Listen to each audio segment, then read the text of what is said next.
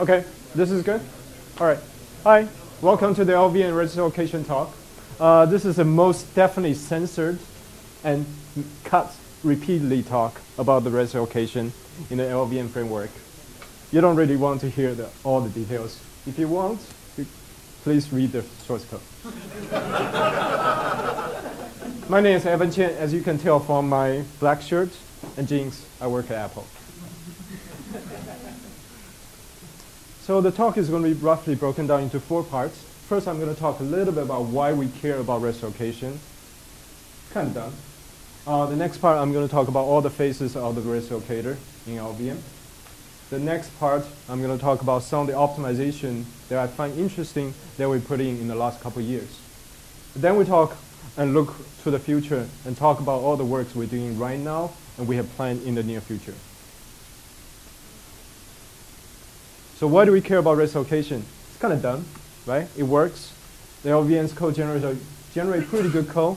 Um, on average, on spec, just everybody knows spec we do pretty well. I mean, I think without the help of LTO, uh, we're about 5% better than GCC42. On 64-bit, we're about the same. We, we have some work to do there still. Uh, we do significantly better on some of the codec um, stuff that Apple cares about, for example. So this is obvious point Avid for, for employment for. Avid. So, but, but it's not quite true. So we do really care about squeezing out the last few percent of performance from the generated code. And want to fix the pathological cases where the register allocator falls apart and do really bad things. But more important things is we care about the compile time for static compilation and even, even more so for JIT. And the more, last, last point is more important. We want to be able to enable more aggressive optimizations. What does that mean? Let's talk about LLVM design philosophy. We believe every optimization phase should be as aggressive as possible. And the later passes will just do the right thing and make sure the code doesn't get pessimized. How does it relate to register allocation? Well, some of the optimization phases that happen before register allocation can and do increase register pressure. And we want to make sure the register allocator can deal with increased register pressure and don't do really bad things. Example, we have a loop invariant code motion pass on machine level. This is not turned on yet. Just look at a quick example. The V set zero in the loop basically clear a, a x86 SSE instruction to clear a 128-bit vector register. It's obviously a loop invariant. And mach machine LICM just hoists up into the loop pre-header. This seems like a pretty obvious optimization, right? This means we only calculate, cal clear the register once and we use it multiple times re, re, without recomput recomputation in the loop. However, moving something away from its use means increased life length, live range. This increased register pressure. So it's not necessarily a good thing, right?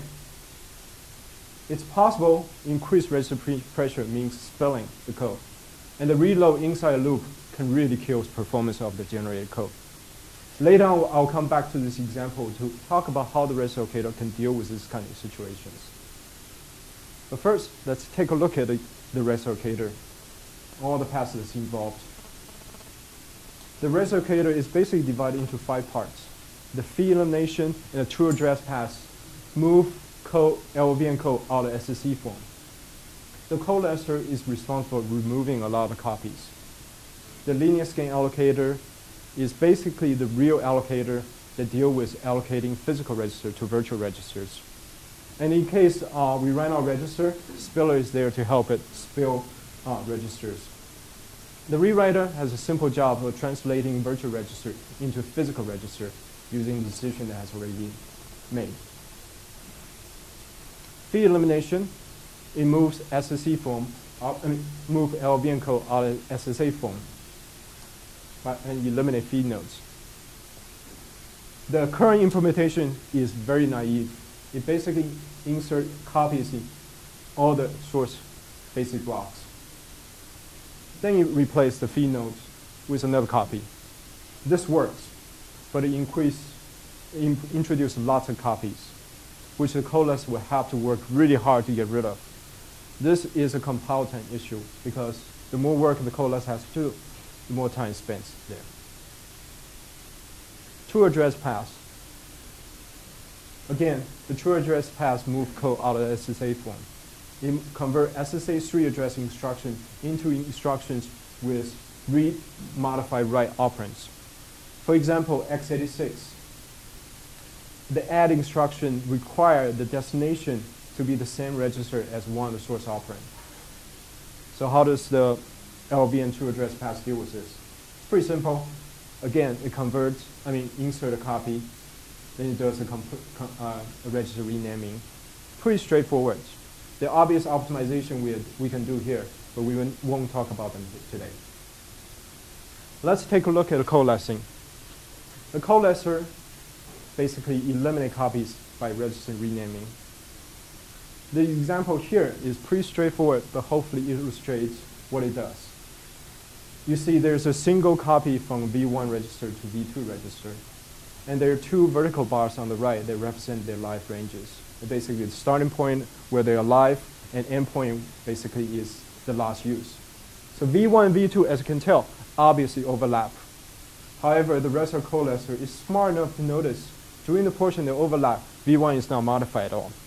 So it is smart enough to rewrite them, turn the copy into an identity copy, which will then eliminate. And the V1's live interval grows, but we get rid of one re register. It's worth noting the implementation of the register coalescer is very, very aggressive. We do value numbering, which means we can coalesce a lot of overlapping live intervals together. After coalescing, you see a lot, a lot of live intervals. They have multiple definitions, and they're represented by different value numbers. Here's uh, somebody, um, I'm sure a lot of people have raised this question. So why do we do coalescing so aggressively ahead of time? I mean, coalescing aggressively means you have a lot of register, a lot of virtual register with extremely light, long live interval. This does increase register pressure. However, this goes back to the LLVM design philosophy. Every optimization pass does as aggressive a job as possible.